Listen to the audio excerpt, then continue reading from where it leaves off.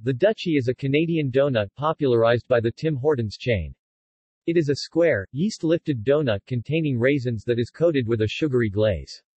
It was previously one of two donuts, along with the apple fritter, that had been available on Tim Hortons' donut menu since the Chawn's inception in 1964, however it has since only been brought back for a limited time, a position that has helped it become popular in Canada.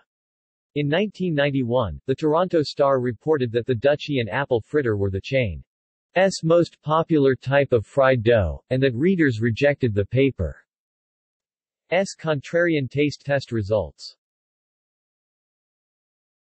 In Canada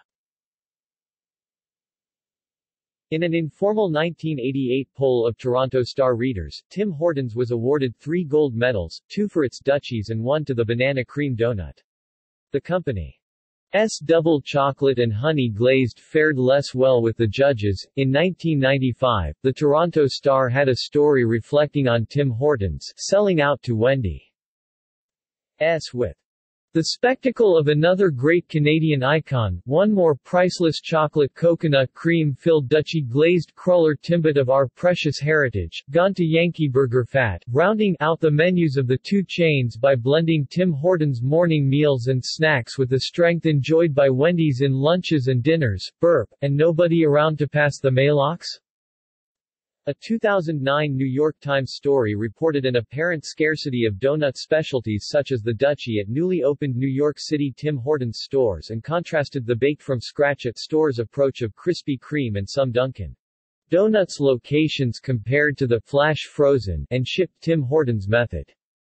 Noting that American visitors tend to flock to the sweets, including the raisin-studded Dutchie, The Times found redemption among Canadians that the brand is once again a Canada-based company while contrasting the way politicians in the U.S. woo soccer moms while in Canada they go after Tim Hortons voters. In February 2014, Tim Hortons announced that the Dutchie Timbit was discontinued due to low popularity. They were temporarily reintroduced in June 2017 as one of several Canadian-themed products celebrating Canada's sesquicentennial. See also